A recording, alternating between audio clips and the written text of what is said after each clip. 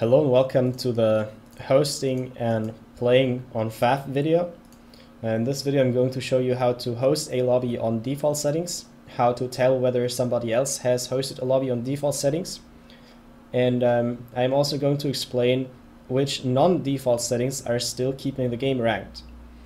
And uh, chances are that um, you have been linked to this video because you are a new player and maybe you just asked how to host, maybe you complained because uh, somebody else kicked you from the game. And uh, if that was the case, I'm very sorry. Uh, people kick you from the games because uh, you have zero games and zero ranking.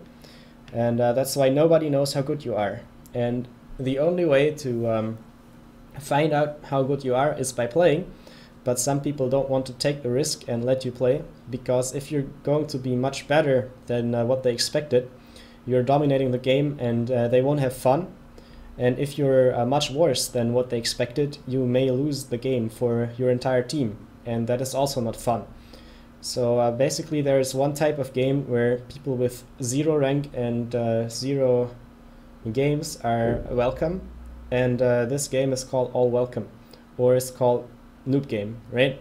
Both exists. And all welcome is generally uh, a game where you can be as good or as bad as you want, and noob games are for uh, new people, right? So that should be quite intuitive.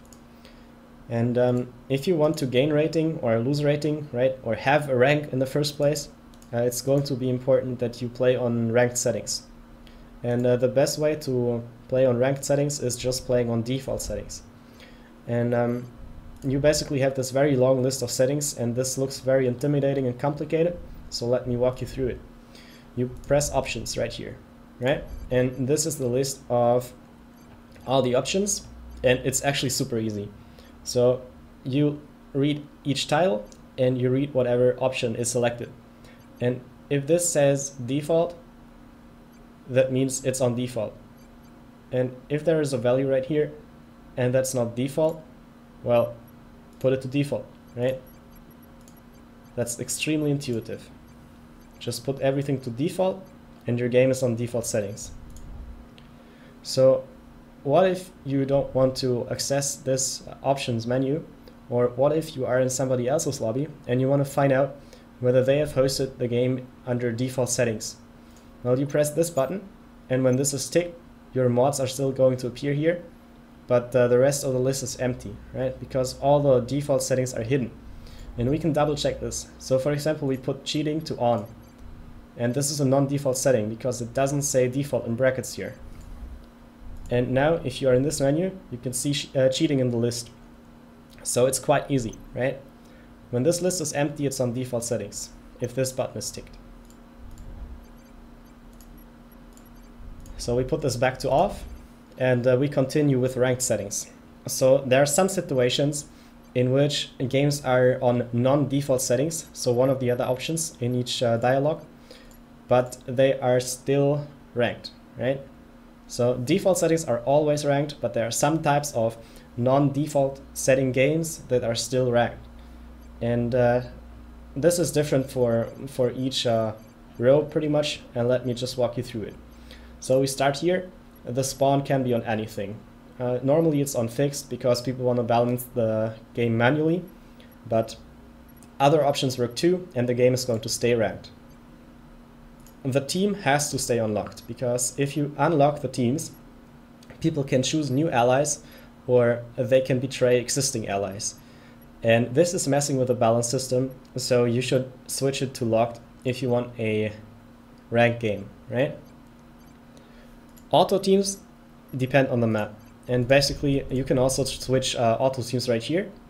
And um, you can see uh, if this is uh, top versus bottom, then the two top players are in one team and the two bottom players are in one team. Uh, if you put this to left versus right, it's going to be left versus right. So very intuitive, right?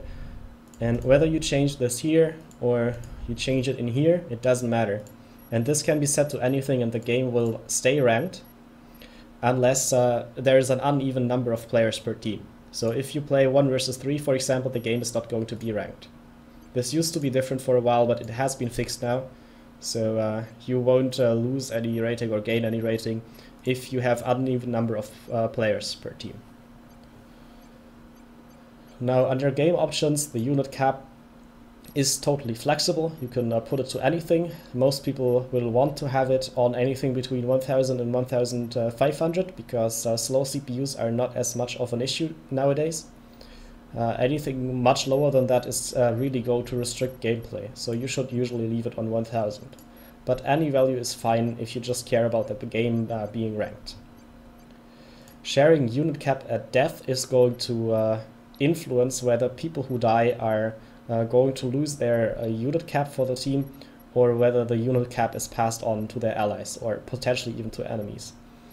And you can put this to anything and the game will stay ranked. Fog of War is a setting, well, I haven't actually tested a no Fog of War game with otherwise default settings and checked if it's ranked or not.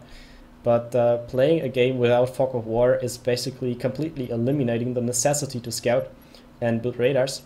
And um, I would generally not recommend trying this out unless it's a practice game, and then you want to unrank it anyways. So um, this setting is uh, usually uh, better left untouched. Victory condition, uh, well, if you put it to sandbox, it's going to unrank the game. And as far as I know, any other setting is going to uh, keep the game ranked. But uh, the issue is that nobody really plays Supremacy and Annihilation. So uh, you should leave it to uh, you should leave it on Assassination, no matter uh, like what type of preference you have. This is like the only accepted setting, pretty much. And uh, timeouts, well, there are some people who often have to uh, go AFK while playing. these people switch it to infinite. There are some people who um, basically invite a caster to the live replay of the game. And uh, if you have a timeout in the game, then uh, there is a good chance that the live replay is going to desync. So uh, these people put it to none, but uh, the default setting is 3. Uh, whatever you use here, the game is going to stay ranked, right?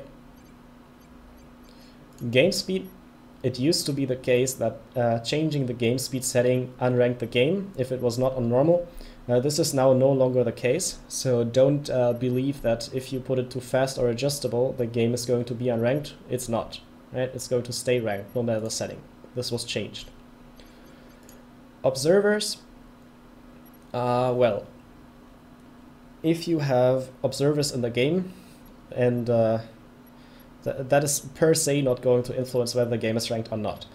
But uh, basically, if you have observers in the game and these observers are uh, playing radar for you, basically they are telling you where the enemy units are, what the enemy is doing, and so on, maybe friend on TeamSpeak or something like that, then uh, this is going to create an unethical advantage, and uh, people are going to find out whether you uh, base decision on information you didn't have. They're going to blame it on the observers, and uh, you may get into trouble because you were cheating.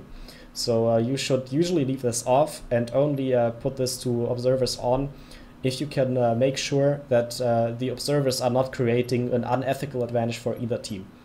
So this is how you should handle this setting. If you put cheating to on, it's instantly going to unrank the game, so leave it to off if you want a ranked game. The civilian setting is not going to influence whether you are going to uh, have a ranked or unranked game. It's uh, always going to stay ranked, unless it was unranked in the first place because of some other settings. And uh, same for revealing civilians. Uh, you can basically uh, put this to any value and the game is going to stay the way it was. Same for pre-built units. And uh, I guess nobody plays with pre-built units, so you should probably just leave it off. No rush options, well, there are some beginners who like to use no rush games, but uh, you are not going to find players who uh, are on an average or a good level of gameplay and uh, play no rush games with you. So I'm actually not sure whether a no rush setting is going to unrank the game or whether it is going to stay ranked. But uh, I would highly recommend you to leave it uh, off because it's also going to um, uh, really uh, make it difficult to get good at this game if you're used to no rush. Then um, random map, well there are a few maps such as Battle of Thermo, uh, that are unranking the game automatically simply because um, people decided that the game uh, on these maps is non-competitive or sometimes these maps are even unfair So there may be one team that has 20 mexes and one team that has 5 mexes because the map was designed this way. And uh, these games are going to be unranked. So um, if you put it to uh, a random map and you happen to get one of these maps, then the game could be unranked. Usually it's best to leave it uh, to off and uh, choose your map yourself. The score, uh, well, score on or score off is both uh, leaving the game in the same state it was before. If it was ranked, it's going to stay ranked. If it was unranked, it's going to stay unranked. Uh, you have to know, though, that uh, some people are really good at reading scores. And basically, by the score, they can tell uh, what you're doing without really scouting. So, if you don't know how to read score and the opponent does, then this is a pretty bad situation for you. And uh, if you know how to read score and the opponent doesn't, then this is also unethical to exploit because reading score is really not obvious. Most people don't play with score on. So you should leave it off uh, at all times to avoid that one team has a free scout and the other doesn't. Now the share conditions, uh, looks like people have added some more things I don't know about, but basically the only share settings you ever see in a real game is full share and share until death and the general rule is that you use full share on Setons and share until death on any other map. And this is how you can grant that your game is actually filling up, because uh, nobody plays share until death Setons and nobody plays uh, full share non-Setons games. So uh, usually leave it to uh, share until death, and um, both settings are going to keep the game uh, ranked if it was ranked before. Now, the AI options, well, the game is only ranked if uh, you play against humans and not against AI. So, if there's just humans in the game and you put the AI cheat multipliers to non default settings, then that's going to be okay because it has no influence on the gameplay and it also has no influence on whether the game is ranked or not. But if you put some AI in the slot like I did here, the game is going to be unranked. Now there is another tab called mods and um, there are two types of mods. So when you have mods on, it's going to say, for example, 16 UI mods. And if there are extra mods, which are called sim mods, then it's maybe going to say 16 UI mods plus two sim mods or something like that. And basically, UI mods are going to keep the game ranked if it was ranked before, and sim mods are going to unrank the game if it was ranked before. However, there are exactly three exceptions, and uh, currently none of them is working, so you may uh, as well not care about them. But uh, if this changes in the future because the mods get updated or repaired, uh, it may be a good idea to know them.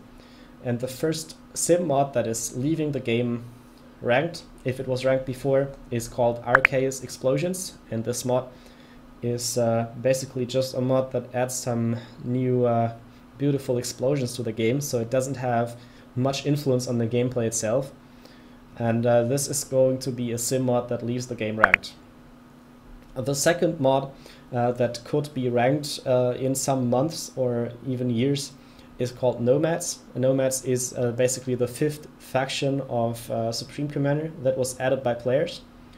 And if this ever gets updated and functional and balanced, then chances are that this is going to uh, be ranked in the distant future so uh, probably in a few years from now. And there is another a sim mod made by my clan, uh, which is called Equilibrium. And Equilibrium uh, kind of depends on politics now. So um, we basically have the means to uh, make this ranked if we wanted to, but uh, we are basically checking that it is going to be socially accepted to put this on on ranked and uh, basically for that, we just require a few more players and a few more testing uh, sessions. But basically, uh, I would say Equilibrium is in a good, uh, on a good way to be uh, ranked at some point. And um, there's a tab called restrictions. So slowly again, I go to options, I go to restrictions here. And uh, this is the menu that shows all units in the game. And basically, if you uh, click something such as, uh, let's say, the UEF T1 radar, you can see this is grayed out. And this means that uh, a UEF player won't be able to build a T1 radar. And uh, build restrictions are usually the most harmless way of unranking a game. So let's say you have a Seraphim player playing against an Aeon player in a 1 versus 1, and uh, you deactivate uh, the Cybran stealth field, right? That's not going to influence the game at all. And uh, the game is still going to be unranked. So you have to keep in mind that any restriction you choose is going to unrank the game. Okay? That's why you should usually not play with restrictions. And uh, if you want to have a ranked game, you may not play with restrictions.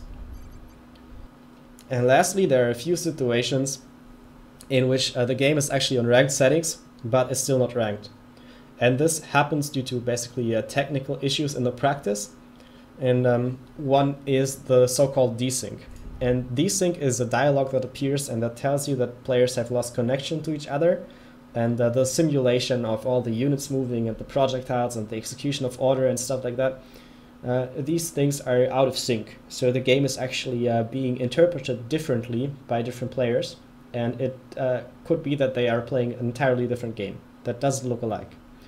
And if a game is desynced, then it's going to be unranked because it is a completely nonsensical game.